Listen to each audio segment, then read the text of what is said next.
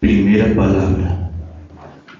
Padre, perdónalos porque no saben lo que hacen. Llegados al lugar llamado Calvario, lo crucificaron allí junto con los malhechores, uno a la derecha y otro a la izquierda. Jesús decía, Padre, perdónalos porque no saben lo que hacen. Se repartieron sus vestidos echándolos a suertes.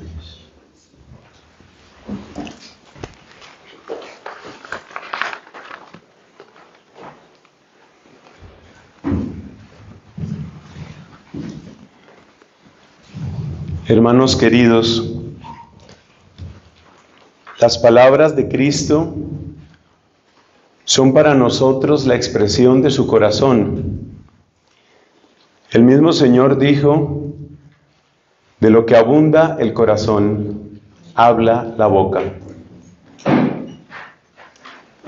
Y por eso cada una de las siete palabras que vamos a meditar Debemos mirarla no solamente como cosas que fueron dichas, sino como expresiones de su corazón. Era Él, era lo profundo de su alma la que se derramaba en cada una de esas palabras. La primera, tomada del Evangelio según San Lucas, nos permite asomarnos al corazón intercesor de Cristo.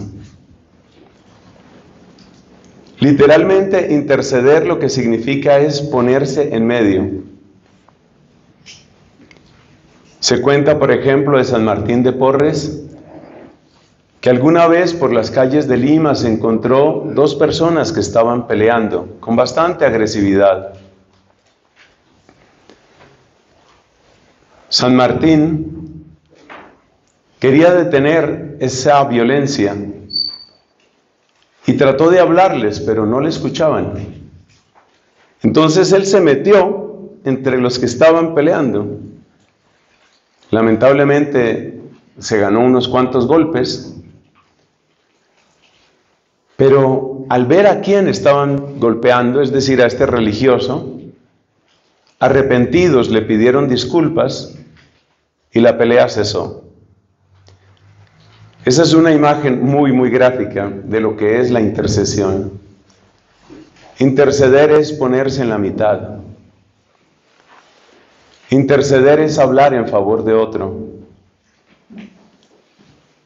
Y es impresionante ver a Cristo intercediendo por sus propios verdugos. Es impresionante, pero hay precedentes. En esta ocasión, las reflexiones que he preparado con la ayuda de Dios son todas de extracción bíblica, porque hay un pensamiento de los padres de la iglesia que a mí me enamora, y es la idea de que la encarnación, aunque sucedió de modo perfecto en las entrañas de María, la encarnación venía sucediendo uno de los padres, por ejemplo, dice que Dios fue acostumbrando a los hombres a su voz. Es la encarnación como un proceso, como un camino. Y por eso quiero evocar con ustedes tres grandes intercesores porque repito, nuestro propósito en esta ocasión y en este sermón es leer las siete palabras de Cristo a la luz de la Biblia, a la luz de las mismas personas y textos que eran familiares para sus apóstoles y que eran de alguna manera el universo mental humano de Cristo. Recordemos aquí a Moisés, el libro de los números, por ejemplo, nos cuenta varios momentos difíciles de intercesión de Moisés. El pueblo murmuró contra Dios murmuró, ¿para qué nos sacaste de Egipto? ¿No había suficientes tumbas en Egipto? Algunos incluso decían, nombremos un jefe y nos devolvemos. Se quejaban de todo. Entonces, para hacerlo recapacitar, Dios se vale de todo, ¿no? Pues apareció una plaga de serpientes. Esto está en el capítulo número 21 del libro de los números. Y empezó la gente a ser mordida por serpientes y empezó a morir. Habían murmurado contra Dios y contra Moisés, pero Moisés intercedió, aunque él en ese momento era un enemigo de ellos. Y Dios le dio instrucciones para que cesara la plaga de serpientes. Esas instrucciones consistieron básicamente en hacer una serpiente de bronce, ponerla en un estandarte. Pero ¿sabes lo que quiero destacar? Que Moisés intercedió por los que no lo amaban, por los que lo detestaban. Ejemplo semejante encontramos en Jeremías. Jeremías se volvió odioso para la gente. Hay una expresión que solo está en el libro de Jeremías. Terror en torno. Esa expresión solo está ahí. Ahí es donde uno debería saber hebreo para saber cómo se dice eso en hebreo, porque sé que la expresión pertenece solo a Jeremías.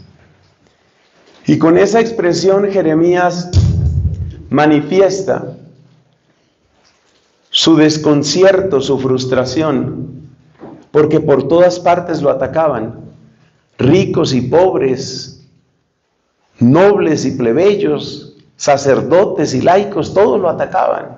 Por eso él decía esa expresión. Pero fue tan intensa la intercesión de Jeremías que luego el libro de Daniel, también vamos a decir algo sobre Daniel, el libro de Daniel trae esta frase bellísima que se ha incorporado en la liturgia de las horas. Este es el que ama a sus hermanos, el que ora mucho por su pueblo. Esa expresión la tiene el libro de Daniel y la dice refiriéndose al profeta Jeremías. El que ama a sus hermanos, el que ora mucho por su pueblo. Y luego el mismo Daniel presenta también su intercesión la podemos encontrar, por ejemplo, en el capítulo segundo de ese libro. Lo más hermoso de esa oración de intercesión en Daniel es el reconocimiento humilde. Hemos pecado. Nosotros y nuestros padres hemos sido una nación rebelde. Palabras semejantes están también en el libro de Baruch. Entonces, Podríamos citar más ejemplos, pero yo creo que estos nos muestran que hay toda una tradición de intercesión en hombres como Moisés, como Jeremías, como Daniel. Cierro esta primera reflexión recordando el motivo de la intercesión. Porque claro, la idea es que nosotros aprendamos a interceder y hay veces que uno no quiere interceder. El motivo de la intercesión aparece bellamente expresado en el caso de Moisés. En un momento dado Moisés siente que Dios está airado hasta el límite y Moisés siente que Dios le dice, voy a acabar con este pueblo. Y es muy simpático, si me perdonan esa palabra, es muy simpático ese pasaje, porque Dios le dice a Moisés, creo que es la única vez en la Biblia, Dios le dice a Moisés, ese pueblo que tú sacaste, le dice a Moisés, como expresando la suma ira de Dios. Y entonces Moisés le responde a Dios, no, el pueblo que tú sacaste. Y le da este argumento para interceder. Señor, si esto fracasa, esto ya es traducción mía, ¿no? Si esto fracasa, ¿dónde va a quedar tu gloria? Literalmente lo que dice es, van a decir los otros pueblos, con mala idea lo sacó de Egipto.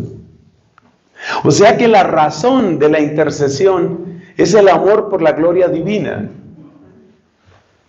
Y esto es algo muy interesante porque cuando nosotros intercedemos por las personas, normalmente somos pobres en el amor. Porque la mayor parte de nosotros, lo digo porque me ha pasado, intercedemos por estos dos motivos que son muy deficientes. O porque la persona me fastidia y me duele tal vez, o porque veo que está sufriendo la persona. Esos motivos no son malos. Que yo me sienta incómodo o fastidiado puede ser natural. Y que yo quiera algo bueno para la persona es natural. Pero el gran motivo para interceder no es que yo estoy incómodo. El gran motivo para interceder no es que la persona está sufriendo. El gran motivo para interceder es porque va a crecer tu gloria. Para que crezca tu gloria. Ese es el motivo para interceder. Me recuerda esa oración tan bella de Santa Catalina, cuando le dice a Dios, suplicando por tantos pecadores de su tiempo, Señor, será mayor tu gloria si se convierten también ellos y no solo yo. Esa es la razón para interceder. Que Dios sea más conocido, que Dios se luzca, que Dios sea más amado, más alabado. El Señor infunde en cada uno de nosotros ese espíritu de intercesión que ya estuvo en grandes profetas como Moisés, como Jeremías, como Daniel, y que dio su fruto más precioso en Jesucristo. Amén.